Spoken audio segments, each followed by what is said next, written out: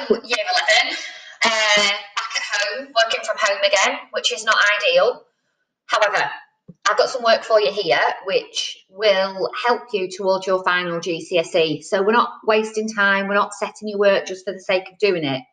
You have to study unseen poetry as part of your literature paper too. It was one of the things that the GCSEs were not allowed to get rid of. Okay. Unseen poetry, the clues in the name, you will be given two poems. And if you look here, you've got two questions. Okay. So in question one, that's worth 24 marks, you're going to be given a poem and you're going to be asked to look at a theme in the poem. This is going to be where you do your normal paragraphs of analysis. So you will study, if we look down here, you will study the poem and you will tell me what is the meaning in the message. We've done this when we've looked at the poetry anthology. You'll also embed a quotation. You'll do some inferences. So, what do you learn from the poem? You'll do some language work and you will look at the structure of the poem and what the writer is trying to tell us by using the structure that he does. At the end, you'll link back to the question and you'll do two or three of these. This is exactly the same stuff as you have seen before when you have done your anthology work. Okay, so you'll be given a poem, something like this one, that you won't have seen before, and that is going to be worth 24 marks. Okay.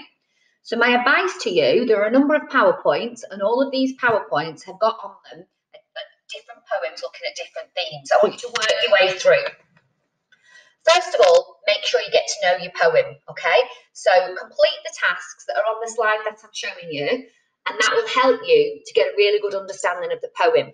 And then in the second hour of, you know, second lesson, I want you to then do your analysis of the poem. So this poem, Harley's Boat, asks you how the poet presents ideas about death. So you'll be looking for quotations that show us about death for the use of the structural devices and what the reader's learning. Okay. Um, your second task that you need to consider is based on question two. So if you just give me one second, I'm going to show you a comparing version. So here, question two says to you in both poem one and poem two, the speakers describe, okay? So basically, this is a little bit like your paper two, question two, where you've got to summarise both poems, okay? So here's an example.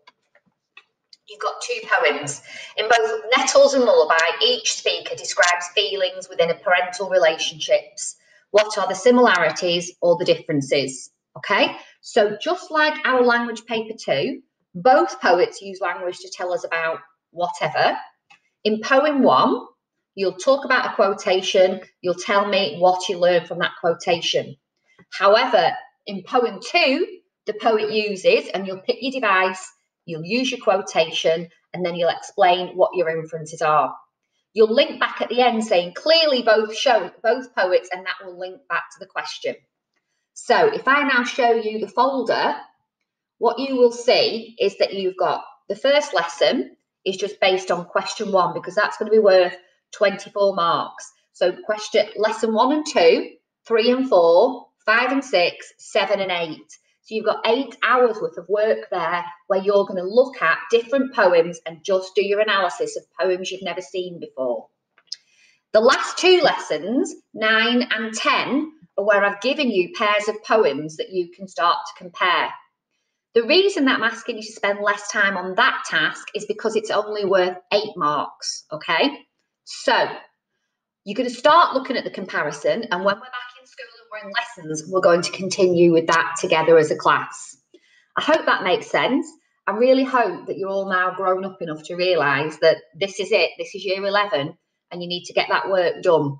I don't want to come back from this period of time off school and to be talking to people who haven't done any work and they're saying, I couldn't get on Show My Homework. Okay, you've all been told to put that right during your time in school. Have a go at it, take it seriously. It will really help you in your final exam. And I will look forward to seeing you back in our classroom. Miss you guys. Hope you're all okay. See you later.